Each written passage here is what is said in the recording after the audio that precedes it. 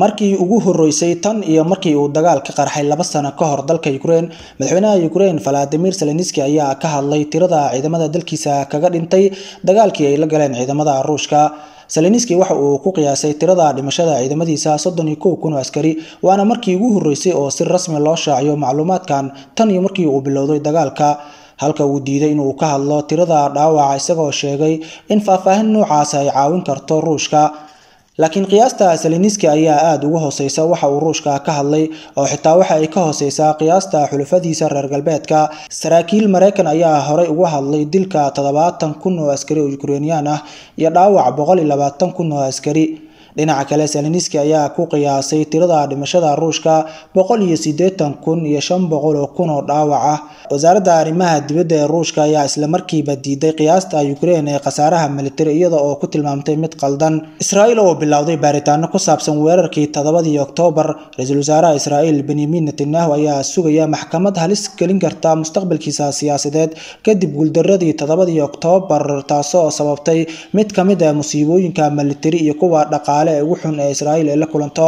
Sida laga soo xigtay warbixin lagu daabacay axadii wargeyska Yadiicul Ahroon maxkamadda sare waxa ay ku howlan tahay sameynta guddi baaritaan oo mas'uul ka ah si loo ogaado cidda keentay fashilkii 7 Oktoobar waana guddi la mid ah kii la dhisay sannadkii 1973 xilligaas oo ra'iisul wasaarihii hore ee Golda Meir kadib markii ay ku guuldareysatay inay ogaato weerar ay ku soo qaadeen dowladaha Masar iyo Suuriya. Inkasta guddiga waqtigaasi uu ku waayay Golda Meir mas'uuliyadda fashilka wixii dhacay balse khubarada ayaa meesha ka saaray in Netanyahu uu heli doono fursad la mid ah taas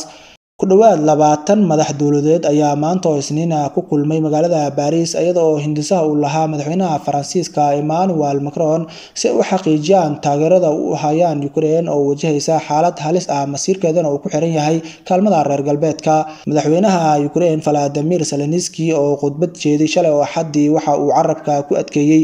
muhiimadda ay xulafada u leedahay taageerada dalkiisa xaaladda adag waxa uuna ku tilmaamay in guusha Ukraine ama guuldarrada Ukraine ay ku xiran tahay xulafada reer galbeedka. Kulankan ayaa ku soo beegmaya iyadoo gargaarka Mareykanka uu sii yaraanayo taasoo walaac weyn ku beertay midowda Yurub. Sidoo kale kulanka waxaa looga hadlay caqabadaha ammaan ee dhaqa sidoo kale kulanka waxaa looga hadlay caqabadaha ammaanka dhaqaalaha iyo weerarada elektarooniga ee Ruushka oo sii kordhaya. Wakiila ka kala socda Mareykanka Canada iyo xoghayaha guud ee arrimaha dibadda ee Ingiriiska David Cameron ayaa lagu wadaa inay ka qayb galaan kulankan. Internet plus waa adeeg ay macaamiishu ka heli karaan internet fiber ah oo xawaarihiisu yahay labaatan megabytes per second. Ayna la socdaan rasiifar ay ku jiraan in ka badan afar kun oo kanaal iyo boqolaal daqiiqado oo ah ku hadal bilaash ah. Salaam somaali bank wuxuu adeegga mushaar bixinta ku soo kordhiyey hab cusub oo online ah. Ebayrol wuxuu kuu fududaynayaa inaad si online ah ku bixiso mushaarka shaqaalahaaga